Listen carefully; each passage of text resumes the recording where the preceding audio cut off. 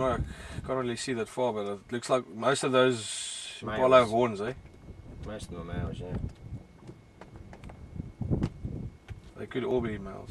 Yeah, I know, Uh, that's what we call a bachelor group.